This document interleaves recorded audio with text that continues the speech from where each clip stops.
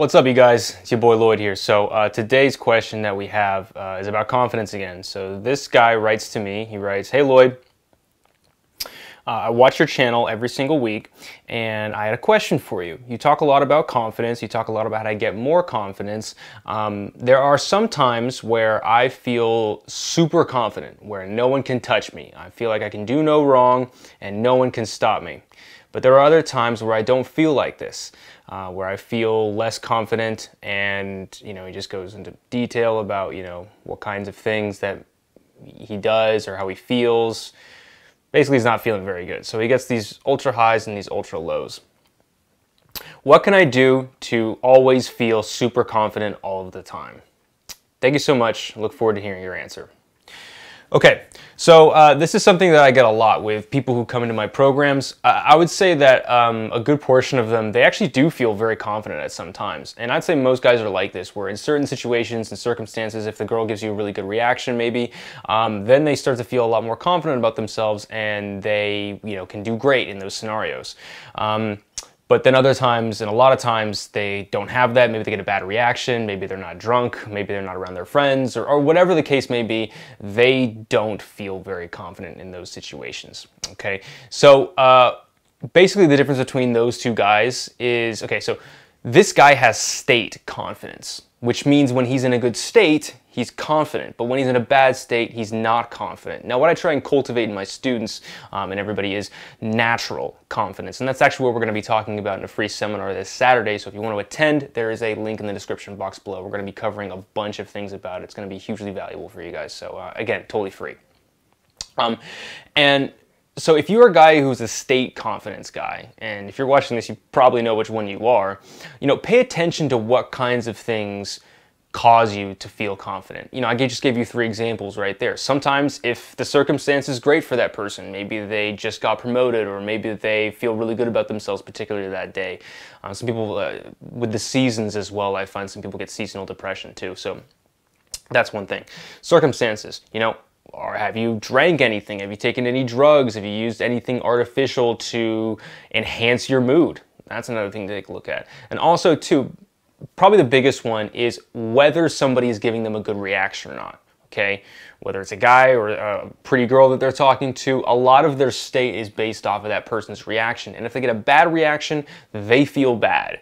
So I, will get the typical student where I'll tell them to walk up and talk to a few people, and like the first few times they can be kind of motivated, but then afterwards, if they don't get a great reaction, they start to their energy starts to dissipate, and they're not able to give the same energy and enthusiasm towards other people. And if you know anything about picking up girls, you know that the amount of energy that you give to somebody is hugely, hugely important. And if you can't maintain that, and if you're just a guy who's like really based off of what other people do around you uh, rather than your own self, you're gonna have a tough time.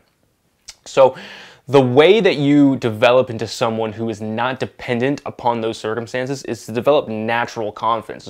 It's exactly what I talked about in the last video. Okay, basically, you don't need other people, you don't need other things to be really confident in your life. And here's the thing when this guy asked this question, he was like, How do I stay and always be at that ultra high where I feel super confident, nothing can stop me? Well, the truth is, if you develop natural confidence, you're not gonna be at that ultra high. Okay, the that's Ultra highs are for people who have ultra lows, okay? And if you're like this, you're going up and down, um, typically that means that, you know, you're not confident most of the time.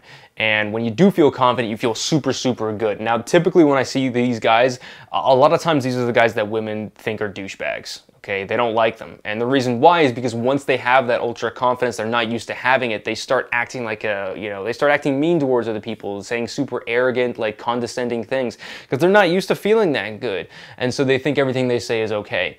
Um, and I find that a lot of guys, once they get into this, um, once they get into this mode, they don't usually notice it until later.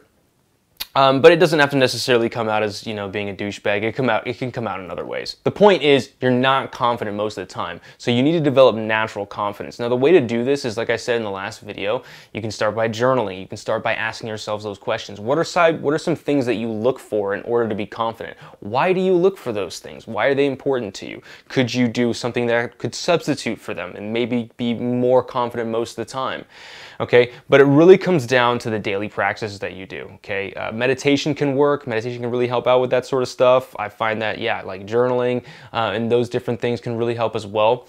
Um, but if you find yourself between the extreme highs and the lows, there's not just some magic pill there that's going to keep you at the high. You know, you seen The Wolf of Wall Street? They tried to make that happen, and look what happened.